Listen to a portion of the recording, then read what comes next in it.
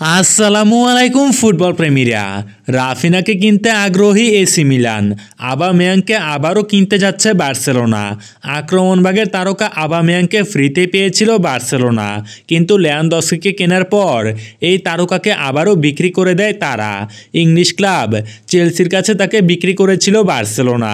চেলসিতে গিয়ে আবার বিপাকে আছেন আবা মেয়াং ঠিকমতো খেলার সুযোগ কি পাচ্ছেন না তিনি। তার মধ্যে আবার চেলসি কিনেছে ফিলিক্সকে। এই সময়ের আবামেয়াংয়ের এই অবস্থা তো আরও খারাপ হওয়ার কথা। কিন্তু এই সময়েই আবামেয়াংকে কেনার কথা ভাবছে বার্সেলোনা। তবে সেটা একেবারেই ফ্রিতে। বার্সেলোনা তাদের প্লেয়ার ডিপেইকে বিক্রি করতে চায়। যদি সেটা করতে পারে তাহলে আবামেয়াংকে কিনবে তারা। এদিকে রাফিনাকে কিনতে আগ্রহী এসি মিলান। লিডস ইউনাইটেড থেকে গত সামারে বার্সেলোনাতে এসেছিল ব্রাজিলিয়ান উইঙ্গার রাফিনা। অনেক লড়াই করেই এই তারকাকে কিনতে হয়েছিল বার্সেলোনার। অবশ্য বার্সেলোনা বার্সেলোনার চেয়ে বেশি লড়াই করেছে রাফিনা নিজেই। বার্সেলোনাতে খেলার জন্য চেলসির অফার প্রত্যাখ্যান করেছিল সে, যেখানে আরও বেশি বেতন পেত। তবে বার্সেলোনাতে রাফিনার অধ্যায়টা সুখের হচ্ছিল না।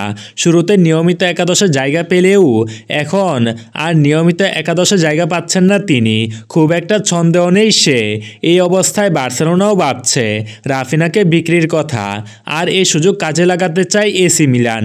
ইতালিয়ান একটি গণমাধ্যম জানিয়েছে, নিজেদের রাইটিং শক্তিশালী করার জন্য বার্সার এ ব্রাজিলিয়ান তারকাকে কিনতে চাই এসি মিলান।